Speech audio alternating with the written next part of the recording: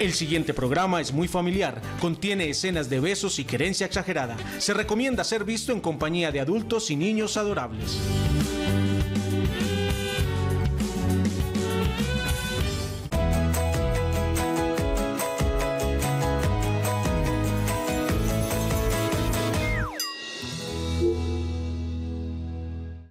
Nos unimos en un arrullo para abrir juntos un camino. Yo te ayudo entre dudas, llanto y caídas, entre risas, besos y abrazos, juntos nos gozamos la vida paso a paso, construyendo desde el amor, paso a paso, para hacernos la vida mejor. Aquí dejando huellas de dicha y color. Bienvenidos a nuestro paso a paso. Hoy es viernes y el cuerpo lo sabe desde el lunes. Ah, ah. Eh, no, ah, no, no sabía. No, si el cuerpo lo supiera, no se paraba, Leo. Hoy no, no se paraba. No me paraba, no me paraba. Está yendo como calor, está yendo como calor. Bienvenidos a nuestro paso a paso de hoy. Eh, todos los que se conectan a esta hora, pues eh, los recibimos con todo el cariño, con todo. Y con boletas, ay, chicanear ver, que fueran para él, pero... Nada, no, no, es que no, no sé ni qué hacer. Va, sí, anunciemos de una vez. vamos a empezar. Ah, a propósito, además, porque Moni, hoy muchas, muchas familias quedan, salen, muchos niños salen a, a semana de receso. La próxima semana, este puede ser un buen plan, pero no sé qué hacer, no sé qué, qué papel asumir. Si del autoritario y entregárselas a los que yo quiera, si, si hacerme el negligente y volarme más bien y hacerme el bobo, o si lo hacemos democráticamente, no sé. Tengo tres. Tres paqueticos, tres paqueticos. Si se alcanzan a leer aquí. Estoy, Bodies, pensando, dice, estoy pensando en si podemos armar cuatro mejor. Cuatro. Eh, ah, dígame, yo las desbarato. dígame si cuatro de tres o tres de cuatro. Ahí sí se la dejo a usted ya. Aquí tengo tres de decisión tan cuatro. ¿Qué difícil. quiere? ¿Tres de cuatro o cuatro de tres? ¿Cómo le gusta más? Ah, sí, ahora sí, se volvió complaciente, pues haga lo que usted quiera. ah, yo voy adoptando distintos estilos de crianza aquí. Yo no sé.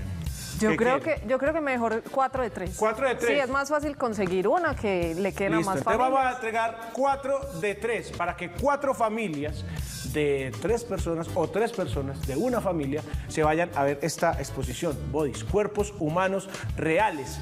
Esta es una exposición que está en, en Viva, En Envigado. Viva, en el Centro Comercial Viva. Ahí pueden ir a disfrutarla. Buenas tardes, que no los he saludado, que es que Leo no deja, con su abanico de boletas, ahí robándose el show. Ahora sí. Gracias por estar con nosotros nuevamente. Hoy viernes sí empieza la semana de receso para casi todos los estudiantes, menos para los de buen comienzo. Gracias, buen comienzo. Eh, y eh, empezamos a armar planes con los chiquis que salen a vacaciones. Este es un excelente plan. Es para niños un poco más grandecitos. eh, Um, para que puedan disfrutar de una exposición de estos cuerpos. Es la exposición de cuerpos humanos reales más grande del mundo, más importante. Está en el Centro Comercial Viva. Pueden ir a aprender, a que Es se muy vuelvan chévere, un poco muy más muy curiosos. chévere. es muy didáctica. No es puedes ir a estudiar anatomía ya de cuenta de los cuerpos. No, es bastante entretenida e interactiva. Puede ser un plan muy divertido. Esta semana que hemos hablado tanto de conocernos por dentro, esta es otra forma de conocernos por forma. dentro, pero anatómicamente. de un sí. viaje al interior. En todo caso, eh, apúrele que estoy votado. Simplemente llamen, se inscriben y al final eh, rifamos estos cuatro paqueticos de a llaman. tres boletas entre quienes llamen para que se vayan este fin de semana, próxima semana o hasta, ¿cuándo está? Eh, esto va hasta el 3 de noviembre. Hasta 3 el de 3 noviembre. pueden utilizarlas, así que bienvenidos.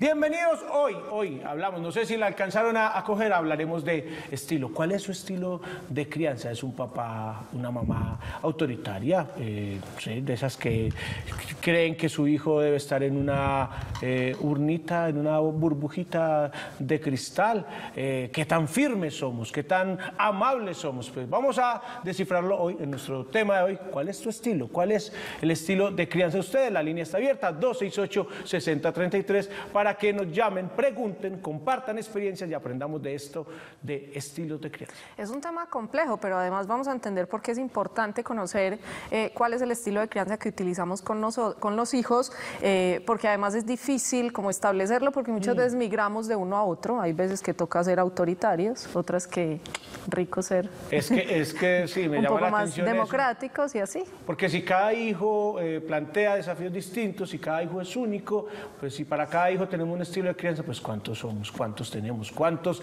estilos existen, pues lo vamos a entender y a desarrollar hoy. Invitados a llamar entonces al 268-6033. Por lo pronto vamos a ver eh, uno de esos estilos que definitivamente no se recomienda en este video y nosotros ya volvemos. Papá gruñón, ¿a quién no le ha salido ese papá gruñón? Yo reconozco que a mí se me ha salido muchas veces. Y a mí también, pues la mamá. Se me ha salido. No, y también el papá que habita dentro de mí. Sí, en sí, algunos sí. casos se ha salido. Sí, sí, para que no nos digamos mentiras, se sale, se sale muchas veces. Eh, lo importante es aprenderlo a controlar, a detener, a, a manejar. Y eso vamos a aprender hoy. Nos vamos a ir de una vez. Eh, ah, bueno, recuerden, ¿no? Llamen, entre quienes llamen. Tenemos estas boletas para entregar. Eh, si no llaman, tranquilos, que yo sabré darles un muy buen uso a esas boleticas. Eh, nos vamos de una vez con nuestra vida real hoy en Paso a Paso.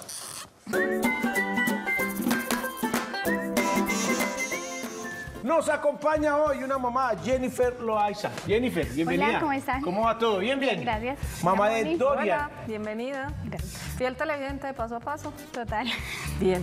Mamá de Dorian y de Miguel Ángel, ya de 13 y de 7 años. Jennifer hace parte del Consejo de Padres y directivo de la institución educativa Javiera Londoño y de Red Papás. Así es. Sí. Muy bien. ¿Nerviosa, Jennifer? No. No. Jennifer, Ah, eso, eso último que dice Leo eh, de Red Papás y Escuela de Padres, eso lo hace pensar a uno que estás muy relacionada, muy vinculada con el concepto de escuela familiar. Sí. Ajá. Porque es importante porque se capacita a uno y deja de uno de cometer los errores que vienen cometiendo uno desde las generaciones atrás. Entonces esto a mí me ha ayudado para educar mejor a mis hijos y dejar de cometer los errores que venía cometiendo antes de estar en todo. Pero más allá del modelo, eh, con esto de la escuela familiar, eh, me imagino yo, eh, asumo que tienes una relación muy directa con la institución educativa de tus hijos y eso en qué ha, ha cambiado o ha transformado un poco tu relación. En que mis hijos se sienten orgullosos de que la mamá sea comprometida y les da a ellos un ejemplo de que cuando sean papás estén también comprometidas con el colegio. Acabo de entender el significado de la palabra comprometido. Compro- Metida en un compromiso. Pero el, no- el- el berraco. Pero ahora yo, o sea, cuando hago memoria no lo miro en el, en el sentido negativo, sino que a mí, pues yo era la más feliz cuando mi mamá iba al colegio.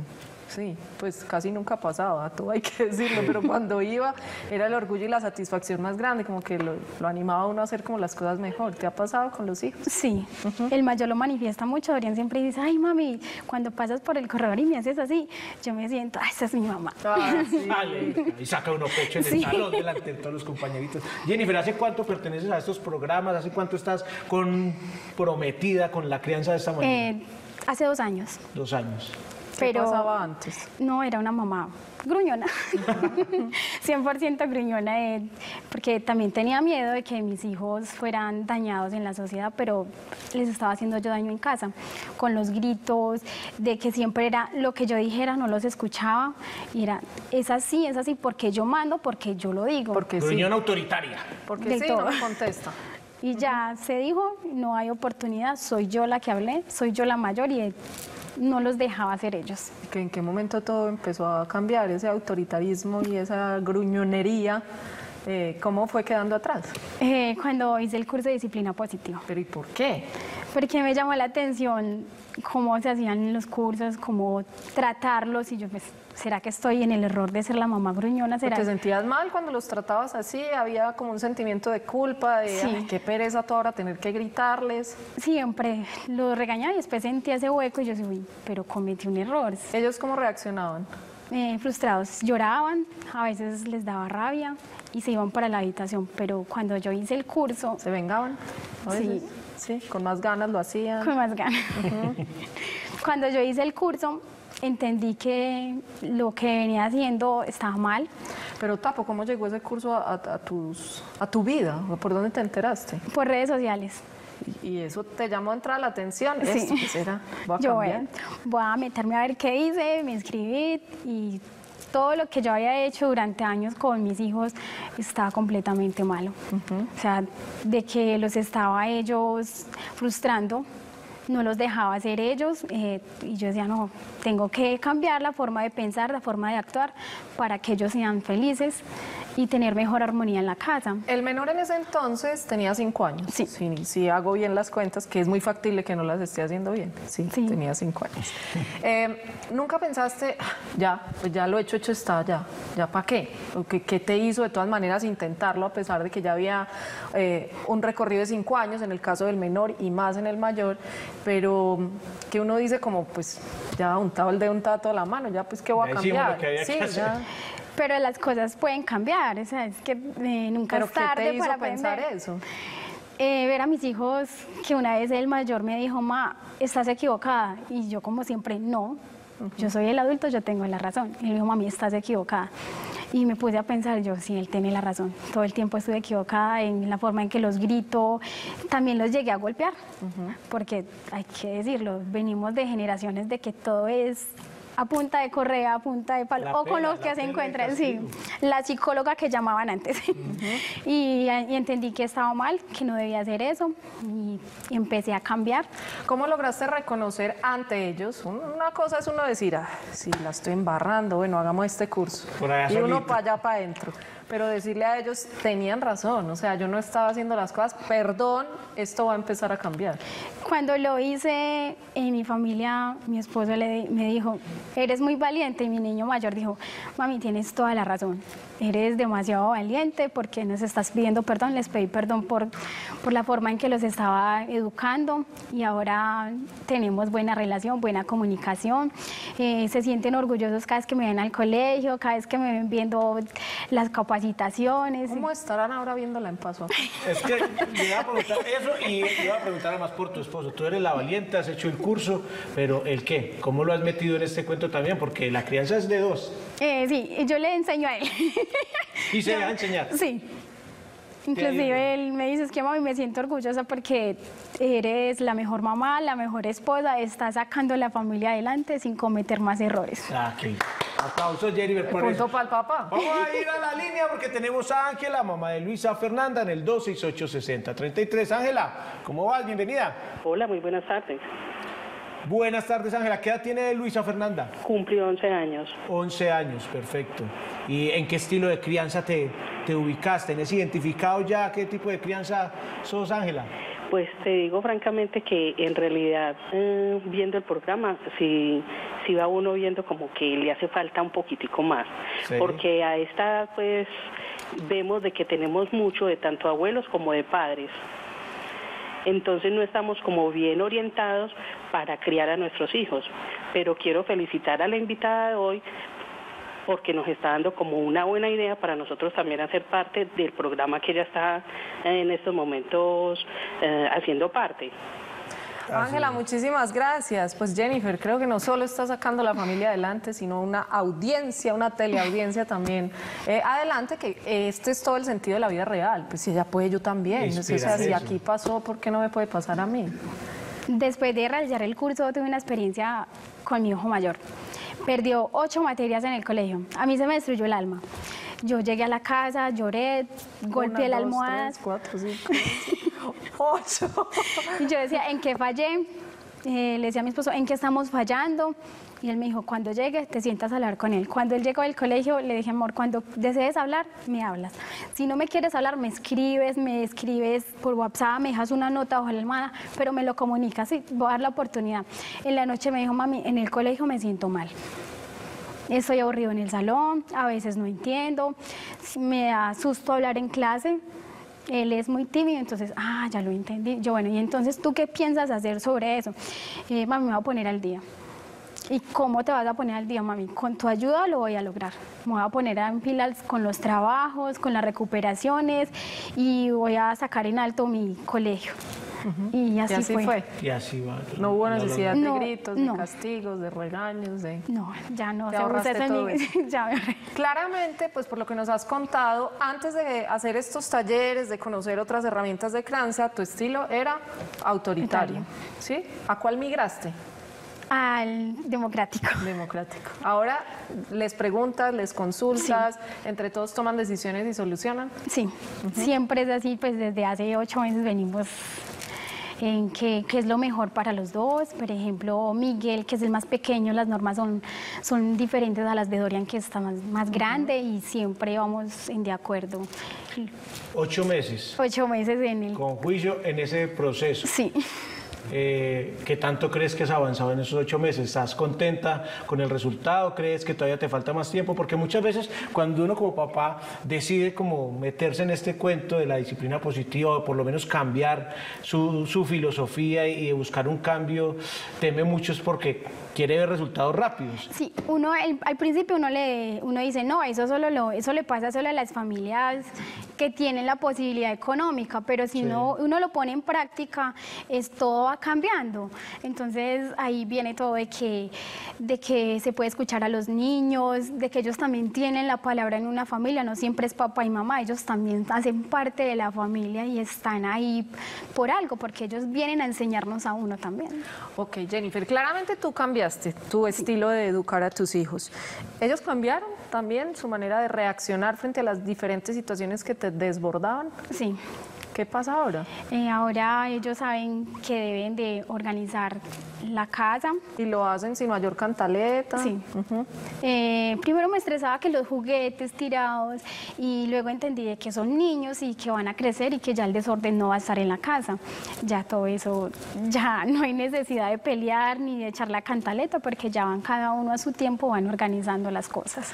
Pues Jennifer, gracias por esta historia tan real, tan bonita, tan sincera, eh, que da cuenta de un proceso y sobre todo ese gran mensaje que nunca es tarde para hacer las cosas bien. Nunca es tarde para una infancia feliz. Muchísimas gracias. Con gusto. Nos vamos a ir al corte muy rápidamente porque hoy tenemos práctica, tenemos teoría que hace parte de nuestro experto, entonces para que la cosa nos rinda y podamos entender esto de los estilos de crianza, sobre todo identificar el nuestro y a cuál debemos migrar y cómo hacerlo, es nuestro gran objetivo de hoy. Para lograrlo, pues tenemos que ir al corte y ya volvemos. Nos vamos a la pausa con el dato. El dato dice, los estilos de crianza son muy importantes porque la forma en que los padres interactúan con los hijos e hijas va a ser la base de su desarrollo social y emocional y por lo tanto de su bienestar actual y futuro. Ya volvemos a paso a paso. Estás viendo Paso a Paso.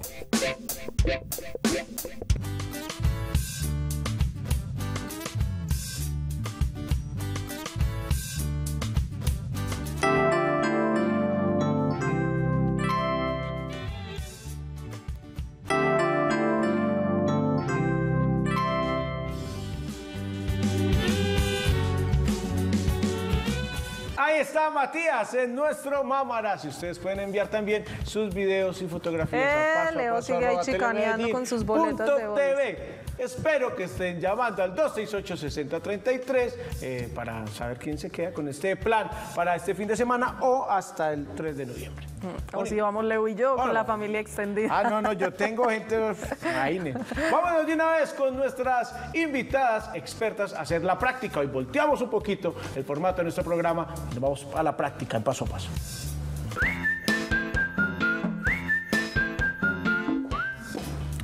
Llegan para ello Eliana Patiño y Jennifer Taborda. Eliana es profesional de apoyo y gestión para el fortalecimiento de familias del programa Escuela Entorno Protector, trabajadora social y certificada en disciplina positiva. Eliana, bienvenida. Muchas gracias, y Jennifer Taborda es profesional igual de apoyo y gestión para el fortalecimiento de familias, eh, programa eh, pedagoga infantil, estudiante de maestría de educación, certificada en disciplina positiva y mamá de Valerie, de 12 años. Orgullosa. Muy bien.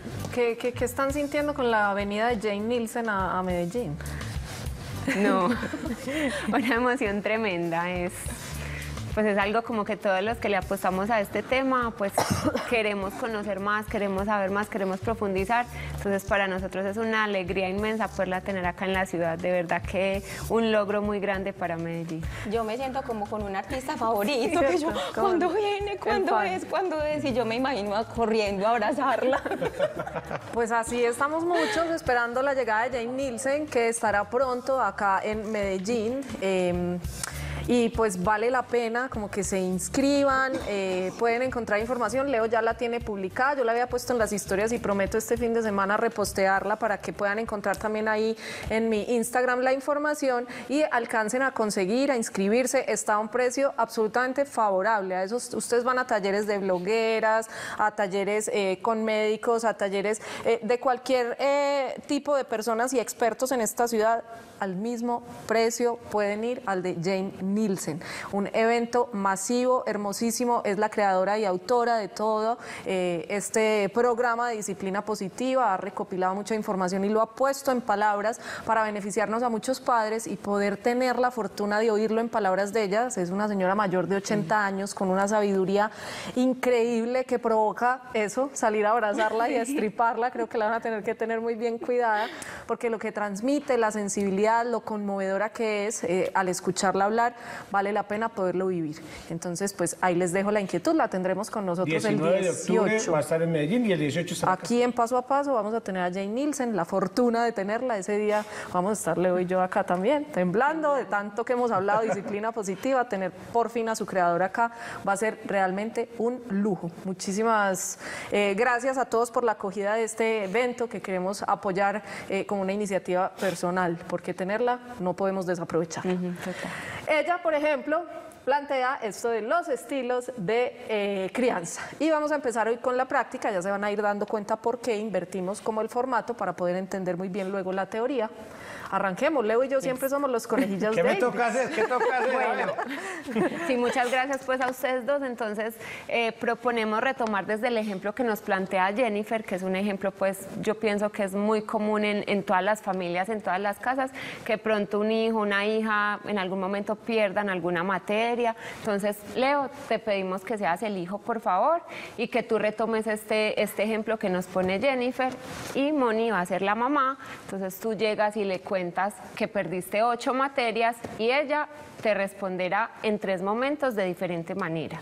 Listo. Entonces les vamos a pedir por favor que se conecten, tú como hijo y tú como mamá de Leo. Y a todos los televidentes que se conecten con uno de los dos, sea con el hijo o con la mamá. Es que Leo no aplica como quién regaña a Leo. No, Rivera, Rivera. Ya. Entonces te pedimos que lo hagas Ya, muy ya. bien. A ver, ¿qué Listo. tengo que hacer? Entonces, Moni, este va a ser lo que vas a decirle en el primer momento. No sé si más fácil se ponen de pie los dos. Empiezo yo. Sí. Ma, le tengo dos noticias. Una buena y otra mala. ¿Cuál quiere primero? La buena. La buena es que me va a tener más seguido aquí en la casa. Eso es bueno. ¡Claro! Y la mala es que voy perdiendo ocho materias. ¿Qué? Perdí hasta el descanso porque no me está dando lonchera. Estás castigado, Leonardo. No. Sos un perezoso. Esa es tu única responsabilidad en la vida. No hay derecho. Listo. Corten. Corte. Leo, Bueno. cuéntanos qué sentimiento te generó esta mamá cuando te respondió de esa manera. No me dejo explicarle por qué estaba perdiendo las ocho materias. Eso fue lo que pensaste. No me dejaste ni siquiera hablar. Sí. Pero qué sentimiento, si tuviéramos que poner en una palabra o en una emoción eh, lo que sentiste, lo que te generó esta mamá, ¿qué dirías?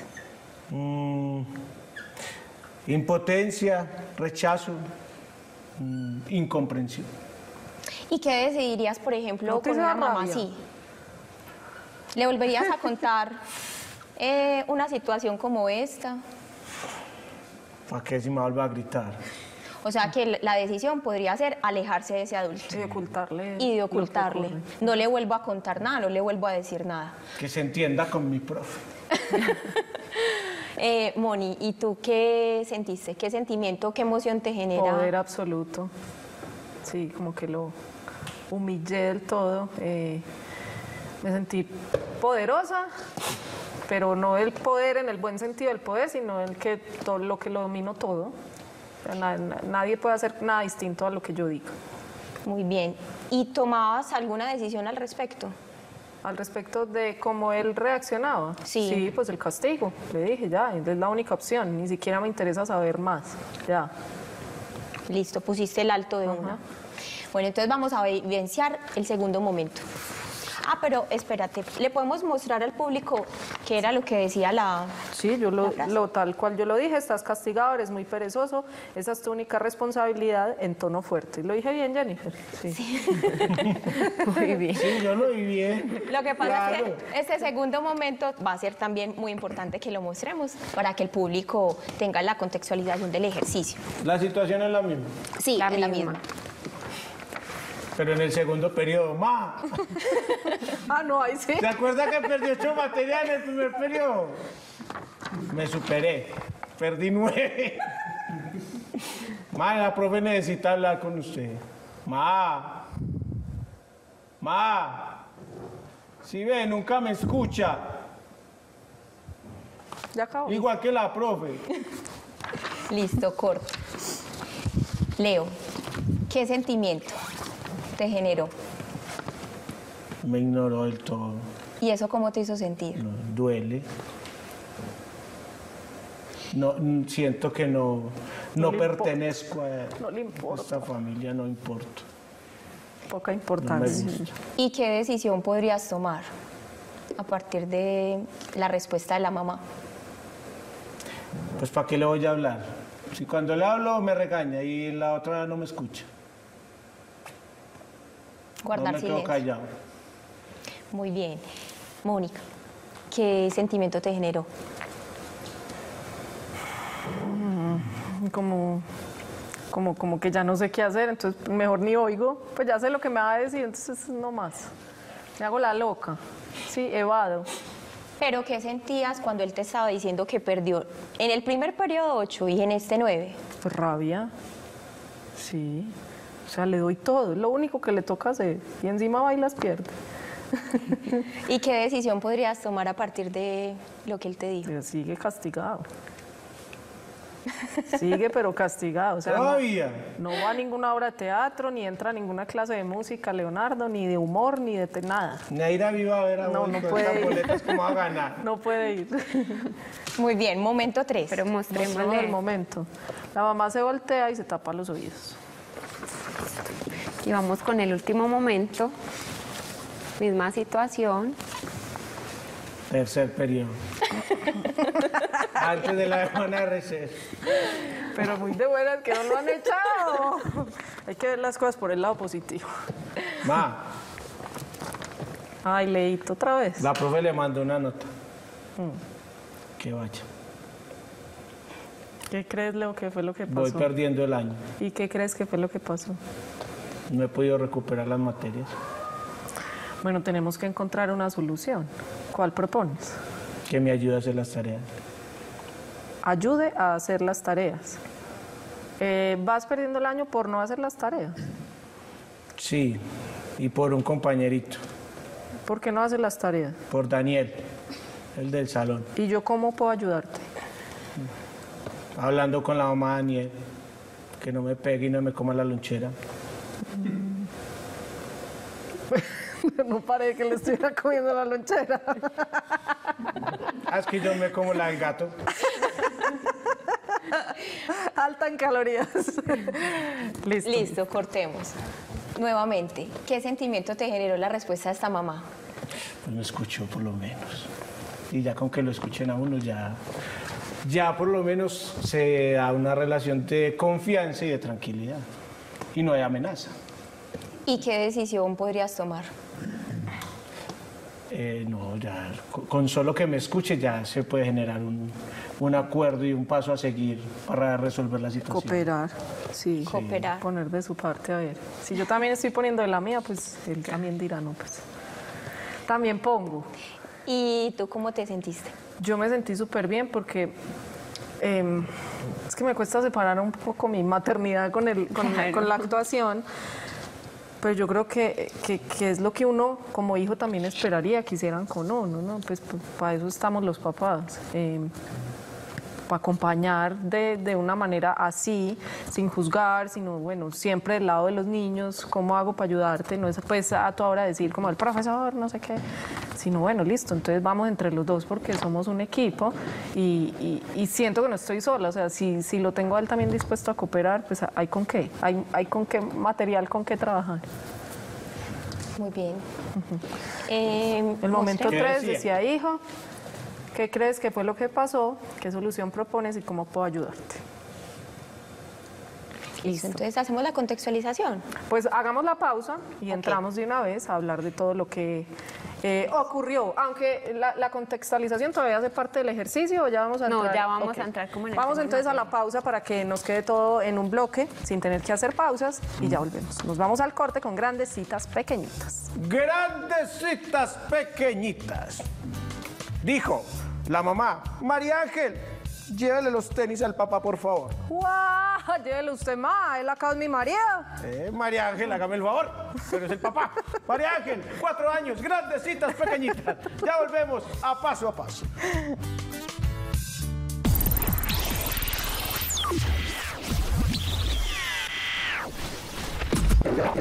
Estás viendo Paso a Paso.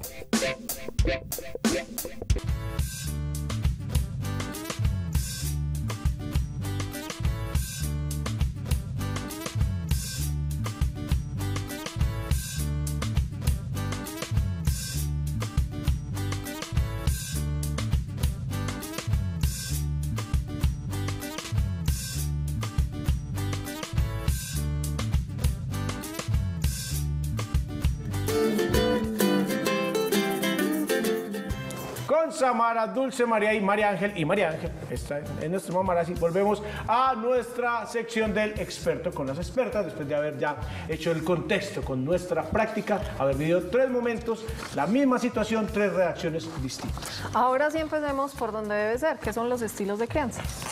Bueno, los estilos de crianza son todas aquellas acciones, todas aquellas actitudes o elementos que implementan los papás, las mamás, los cuidadores, porque también es importante dejar claro que no siempre los niños son criados por su papá o su mamá. De pronto está la abuela, de pronto está la vecina, el hermano, el tío. Entonces es aquella persona que está como enfrente de la educación. Entonces son todas estas herramientas que implementan para educar a sus hijos o a los niños o a las niñas. Leo decía ahora al comienzo del programa, si con cada uno, hijo uno actúa de manera diferente, cuántos hijos hay, ¿son muchos los estilos de crianza o cómo se clasifica? Sí, tenemos cuatro estilos de crianza. En, en las eh, representaciones vimos tres. Entonces, eh, pues vamos como a, a hablar de ellos, sí, detenidamente.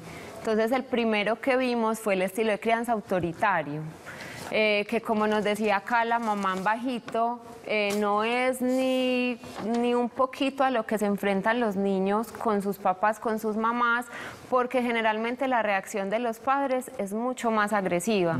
Entonces no les dice, pues... Mm. Más grito, más sí, violento. hay más grito, más, más violencia, está también la típica chancla voladora que es Sí, muy eso está muy bonito ahí, utilizada. estás castigado, eres muy usted no sirve para nada, es que lo único que tiene que hacer es, usted es estudiar, que yo le estoy dando el estudio para que te publicado. inservible, poca cosa. Sí. y Pero, demás, pues. tam- pero no solamente hace alusión como eh, a ese tono fuerte o a esas palabras fuertes, sino que también es ese típico papá que dice, en esta casa se hace lo que yo digo. Lo si a usted le obedezco". gusta, bien, y o si no, bien, pues allá está la puerta. Papi, En ¿me das esta permiso? casa se hace lo que yo Así. diga. Ajá. Papi, ¿me Y das punto. permiso? No. Pero papi, ¿por qué? ¿Por qué no? Y punto. Y yo lo he dicho. Punto final. Claro que sí, esas son unas de las características que tiene este papá, esta mamá, como otras son no escucha, es un papá, una mamá que jamás escucha a los hijos, por lo que decía Jennifer, porque se hace lo que él diga y ya. Es un adulto violento que emplea que su única herramienta para eh, la crianza, para la educación de los hijos es el castigo. Y el castigo lo puede utilizar eh, no siempre físicamente, aunque ese es el más común, también existe el castigo al ser que decía Moni eh, cuando Jennifer le preguntaba cómo se había sentido, ella decía, siento que humillé a mi hijo. Entonces, esa es una forma de castigo también, cuando los humillamos, cuando les dejamos de hablar, cuando Pero les- además, yo, yo decía ahí que me sentía mal, pero en el común de los casos lo disfrutan. Sí, Sí. sí, cuando, ah, es que yo soy el Que están validando una superioridad y una superioridad Claro muy que están marcada. haciendo lo correcto porque culturalmente también eso es lo que nos han enseñado. no, eh, el aprendizaje que hemos tenido desde lo social es que si no funciona, si no utilizo la fuerza, no funciona y no es efectivo. Entonces por eso ha sido uno de los estilos de crianza que más nos han marcado culturalmente y es el que uno más ve en las familias pues y últimamente también. Claro que sí, otro tipo de castigo muy utilizado es el castigo al objeto, es el castigo. Entonces, si tú no haces tu tarea, entonces no vas a jugar con el celular o entonces no ves televisión, pero ¿será que lo uno tiene que ver con lo otro? Entonces, tampoco estamos implementando, tampoco se implementan esas estrategias eh, que, que concuerden con eso que pronto queremos mejorar de los niños, con esos desafíos que tenemos en, ese, en este momento y que son los que de pronto no soportamos pues como, como de nuestros hijos, pues por decirlo de, de una manera. Le quita lo que más le gusta. Claro. Sí, pero es que ahí sí podría tener relación porque muchas veces pues el niño por estar viendo televisión, qué sé yo, no hace sus tareas, entonces pues no se concentra, entonces ahí hay una relación directa. Pero por ejemplo, el niño pierde sus materias y le dice, ah, listo, entonces no nos vamos a ir a la playa. Claro. ¿Y qué culpa tiene el paseo con que el niño no haya hecho las tareas? Ahí es donde no existe una relación Totalmente. entre el castigo. Pero entonces- Ahora, si uno lo anticipa, dice, mira, en diciembre ah, vamos a ir a la playa, hemos ahor- vamos a ahorrar todo el año. Si no te va bien en el colegio, ese paseo se cancela. Ahí sería una consecuencia lógica, Sí. no un castigo. Ahí sería una consecuencia lógica, podríamos llamar. No cuando se Pero- impone de sopetón, ah, entonces no vamos. Pero ahí es muy importante la concertación, el acuerdo, es decir, que con él eh, planeemos el viaje, pero que también planeemos, bueno, y entonces si tú no alcanzas este año esos, eh, esos logros académicos, entonces ¿qué pasa con él, o qué ocurre con el paseo? Porque ahí le estoy dando también al niño, lo estoy empoderando, le estoy dando la autonomía para que él también mire cómo es la situación y ponga de su parte para... Y para que al final cuando se cancele el viaje, dado el caso, no sea uno el responsable, lo acordamos entre los dos. Tú mismo dijiste que entonces si no te iba bien no había paseo. Claro que sí, pero entonces en este estilo de crianza, de un estilo totalmente autoritario, los acuerdos no existen. existen. Como decía Jennifer, se hace lo que yo digo y punto. Sin escuchar, sin, sin, Sin tener en razones, sin por qué, sin tener en cuenta la opinión del niño,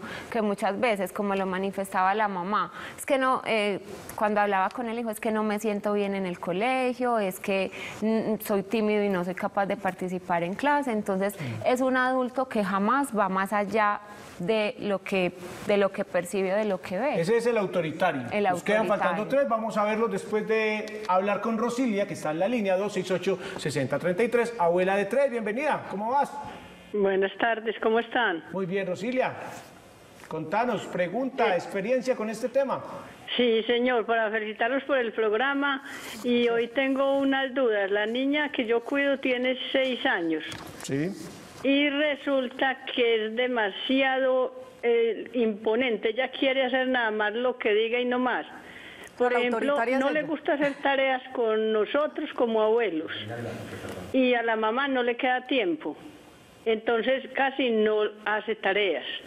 Eh, nosotros le quitamos el televisor, le quitamos el celular, nosotros como abuelos, y a ella no le vale nada. Dicen, no las hago y punto. Y por ejemplo, en este momento está enferma de los ojos, le mandaron unas gotas y dice que ella no se deja echar esas gotas. Y que no, que no. Entonces, ¿qué hace uno ahí? Mire, le dije yo, si se echan las gotas, vamos a un paseo en diciembre para que estés bien de los ojos. No, yo quiero, no quiero más bien ir al paseo. Y da mu- es demasiado, demasiado rebelde y apenas tiene seis años. A mí me mantiene muy triste porque las tareas de ellas son muy incompletas porque no se deja ayudar de nosotros.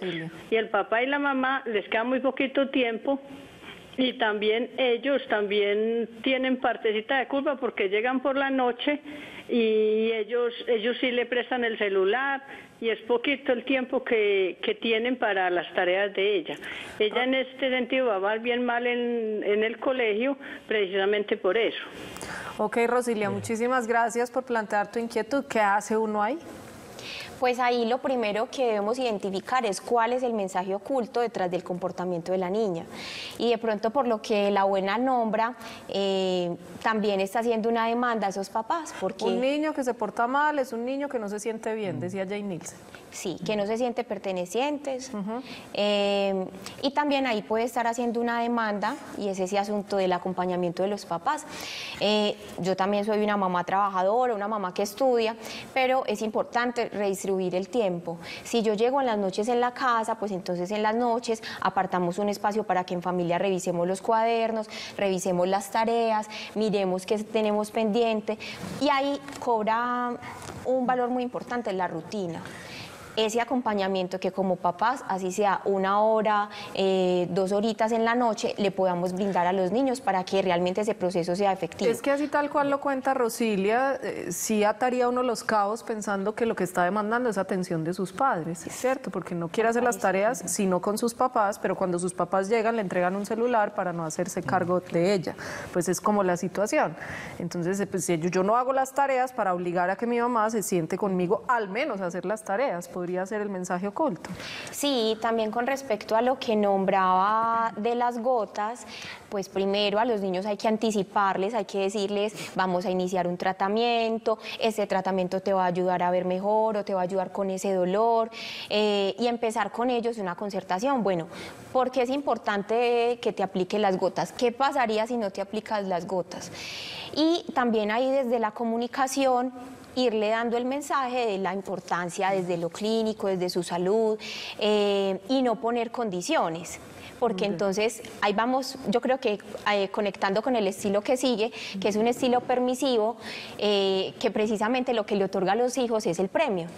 Nosotros en los momentos no lo evidenciamos, pero sí es importante nombrarlo porque es ese papá que todo lo justifica, ese papá que, que dice, no, es que esa profesora se la tiene montada, no, es que para que a él le hubieran pegado tiene que ser que quién, quién sabe qué le hicieron o cómo lo detonaron o le quitaron la lonchera, eso fue que pasó algo, pero también es ese papá que dice, mi amor, no vea, venga, siéntese y haga las tareas que yo le voy a dar un premio, venga, mi amor, vea, pórtese juicioso que yo lo voy a sacar por la tarde al parque.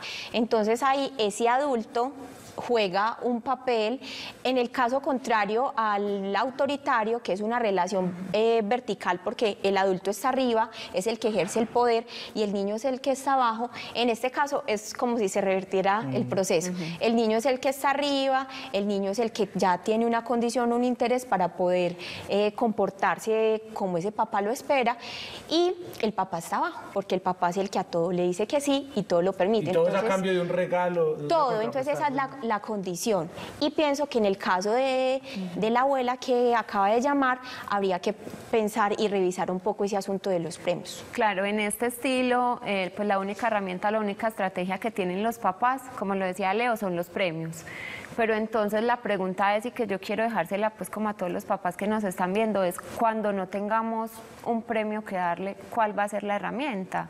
Entonces es no condicionar tanto a los niños, no condicionarlos que no dependa eh, un comportamiento o un qué hacer de un premio. No, nosotros debemos motivarlos, claro, pues a quien no le gusta que le den un regalito de vez en cuando, pero que eso no se convierta en, en la obligación de siempre, que eso no sea lo que el papá siempre tenga que hacer para que el niño haga la tarea, para que el niño coma, para que obedezca, se bañe y todas las rutinas pues diarias, eh, todo lo que tienen los niños diariamente. Autoritaria y caso contrario, el permisivo. permisivo. Y Mónica, acá es muy importante pues como también eh, hacer conciencia que en estos dos estilos son los que generalmente hemos sido criados o educados todos, porque viene desde atrás, desde siempre. Entonces, o se es muy autoritario y siempre se castiga, o se va al otro extremo que se es muy permisivo. General, Que pasa mucho, eh, aquí acordándome de la llamada, también mucho con los papás que no están tan presentes, entonces les permiten todo, les dan todo lo que piden, para tratar de compensar ese tiempo de ausencia. Claro que sí, y generalmente no es que un papá diga, eh, "Ay, yo voy a, a castigar a mi hijo porque quiero hacerle daño, porque lo quiero hacer por mal o lo voy a premiar porque quiero hacerle daño, no. Generalmente lo que sucede es que ellos utilizan o las herramientas y las estrategias con los que los, los criaron o todo lo contrario, si le dieron mucha correa, mucha chancla cuando, estu- cuando estaba pequeño, entonces dicen, yo no quiero que mi hijo sufra, no quiero que mi hijo Y que no le falte tenga nada. tanto dolor y que no le falte nada, pero Claro, saltamos de- al otro detrás extremo. de cada estilo siempre está la intención de educar. Sí. sí, Sí. Eso es incuestionable. Todos hacemos lo mejor que podemos con lo que tenemos, pero a veces no está bien. Pero- Autoritario, permisivo. Eso es un buen ejercicio, mirarse uno, cómo está educando uno y cómo lo educaron a uno. Ahí eso le da muchas respuestas también. Nos faltan dos, vamos a ir a la línea con Olga rápidamente para alcanzar a hablar de los otros. Mamá de Ángel. Olga, bienvenida, ¿cómo estás? Hola, muy buenas tardes para felicitarlos por tan maravilloso programa. Bueno, tengo un hijo de 13 años. Eh, Ángel, nosotros somos papá, mamá y Ángel. Siempre los fines de semana estamos juntos, siempre le decimos, eh, ponte las pilas para que nos vamos el fin de semana. Bueno, él le ayuda a hacer tareas, él siempre pretende que uno esté ahí con él, pero si uno lo deja solo, ya él se pone a jugar con otras cosas, lo hemos llevado donde neuropsicólogo por recomendación escolar y resulta que todo está bien. Y él oculta mucha información, entonces uno no sabe qué hacer. ¿Trajiste tareas? No, mam, no tengo nada que hacer. Le reviso el cuaderno y efectivamente no tiene nada que hacer, pero es porque no copia. Entonces a mí se me sale de las manos. Yo siempre estoy con él en casa. El papá trabaja, pues yo trabajo acá en la casa. Y siempre estamos compartiendo el comedor, eh, como costumbres bonitas que se han olvidado últimamente en los hogares, nosotros compartimos mucho con él.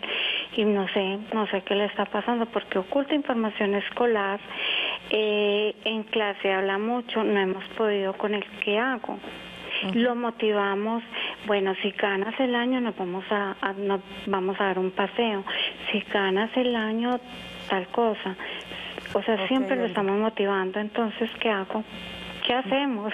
Muchísimas gracias, Olga. Pues empezar tal vez por el tema de la motivación, que no es el adecuado como acabamos de explicar. Sí, y también pues volvemos a la llamada anterior. Hay que identificar el mensaje oculto, Oculto. detrás del comportamiento del chico. Eh, de pronto la recomendación que yo le puedo hacer, que escuché que lo habían llevado do- donde el neuropsicólogo, es hay que identificar cuáles son los momentos en los que él pierde la atención y la concentración. Y también como papás hay algo muy claro y es, hay hijos, yo puedo tener cinco hijos criados con la misma guapanela bajo el mismo techo y con los mismos papás, y todos cinco ser muy diferentes. Hay chicos que necesitan mayor acompañamiento y mayor permanencia del adulto que otros. Hay unos que son muy autónomos e incluso les gusta más estar solos. Pero en este caso eh, lo puedes acompañar desde animarlo y no rescatarlo. Es decir, eh, cuando yo como mamá le digo, mi amor, no, es que le pusieron muchas tareas, vaya a duérmase usted que yo le ayudo a pintar. Ahí lo estoy rescatando. Pero si yo le digo, no te preocupes, vamos a terminar la tarea, yo me voy a quedar aquí, yo te voy a acompañar mientras que tú la terminas. Ahí realmente lo estoy empoderando y le estoy diciendo, la responsabilidad es tuya. Y como papá, pues mi trabajo y mi labor sería acompañarlo. Nos quedan tres minutos y nos faltan dos estilos. Ánimo. Bueno, vamos con el Yo te voy a acompañar. Con el tercer estilo eh, fue cuando Moni se volteó y se tapó los, los oídos. Este estilo se llama negligente. Eh, para mí es el, el estilo más peligroso que puede existir en la crianza de los niños porque es acá donde pueden ocurrir todas las vulneraciones, los acosos escolares, eh, las violencias sexuales. Acá el, el adulto no tiene ninguna estrategia. Porque un padre un- ausente. Es un padre ausente, es un padre que. Evasivo. ¿cierto? Son aquellos que le dicen, mire a ver usted qué hace con ese muchachito porque yo ya no me lo aguanto. Por para eso lo me- metí al colegio, que se encarguen allá. Claro que sí. Entonces, ese es el estilo más peligroso. Eh, pues ninguno de nuestros televidentes probablemente esté en este estilo porque no estaría dedicando tiempo a ver un programa de crianza. Sí, ¿cierto? debería mejor uno decir, no, por lo menos me gritan, pues me está poniendo cuidado, me gritan, Sí, pero sí. ahí no hay nada. Claro, y acá las emociones que le genera al niño es que no vale nada, que no lo quieren, que, que no, no, le- no- nadie se interesa por él. Y un último estilo. Bueno, y el último estilo es el de disciplina positiva, que precisamente lo que le otorga a los hijos es ese amor incondicional. Y cuando me refiero a amor incondicional, es un amor que permanece independiente de si se portan mal o bien. Porque con los niños pequeños pasa mucho, uno escucha que los papás les dicen, usted, la mamá no quiere a los niños groseros, la mamá no quiere a los niños que se portan mal. Y el amor no puede estar condicionado, el amor tiene que permanecer y precisamente este estilo hace alusión a ser firme y amable al mismo tiempo, a establecer acuerdos, a movilizar en el otro la cooperación, eh, ese sentido de pertenencia, incluirlo en la toma de decisiones. Que, que si uno mira, lo- los otros en- usan cosas, una sola cosa de, de esa. Del uno, Sí, el sí. autoritario es solo firmeza, el, el permisivo es sola, solo amabilidad, exceso de amabilidad. Y con el autoritario y el permisivo hay que tener mucho cuidado porque entonces quienes detectan que están siendo autoritarios por tratar de compensar migran uno al permisivo, sí, y no es el uno ni el otro, sino tratar de centrarnos en el democrático, en tener en cuenta al niño, en preguntarle cómo te sientes, qué puedo hacer para que estés mejor, cómo buscamos una solución entre los dos para lograr X o Y objetivo. Sí, y hay que tener muy en cuenta para terminar que si yo hoy empiezo a implementar el estilo democrático, no puedo pretender que mañana me vaya a funcionar. Como decía la mamá invitada, yo hace ocho meses lo empecé a implementar y me está funcionando. Es tener en cuenta que la crianza es a largo plazo y que el mayor reto siempre será para los adultos, para los papás. Perseverancia, sí. Si los hijos son para toda la vida, entonces hay tiempo. toda la Hay tiempo. Muy bien. Eh, se nos acaba el tiempo, necesitamos tres números, uno por allí. Del 1 al 20. 19. 19. 19. El 11. 11, 11 y 8. 19, y ocho. 11 y 8. Y los ganadores Eh, que se van este fin no, de otro semana. número, Boni. Necesitamos otro número. Ah, son cuatro. Son cuatro de tres. Dani. Siete. Siete. Los números son 19, 11, 8 y 7. Marta Cecilia Ríos, Carlos Enrique Franco, Sara Cristina Suárez y Dolly Jaramillo. Marta, Carlos, Sara y Dolly son los cuatro ganadores de tres boletas para ir a ver Bodies en el Centro Comercial Viva Envigado hasta el 3 de noviembre. Deben reclamarlas aquí en la recepción de nuestro canal Telemedellín. Les voy a dar plazo hasta el jueves siguiente. Hasta el, hasta el viernes. Ah, bueno, para que si no vienen por ellas podamos volverlas a rifar y puedan ir otras personas a utilizar las boletas. Plazo hasta el próximo viernes, entonces, ocho días para que vengan por ellas. A ustedes muchas gracias. A Nosotros nos vamos. Feliz fin de semana. Descansen, disfrútense. eh, piensen cuál estilo de crianza están ahí eh, utilizando. Si muy a la fuerza, muy permisivos, traten de ubicarse por acá. El negligente pilas con eso. Párenles bolas. Ellos necesitan ser escuchados. Chao, chao. Chao, chao. Gracias.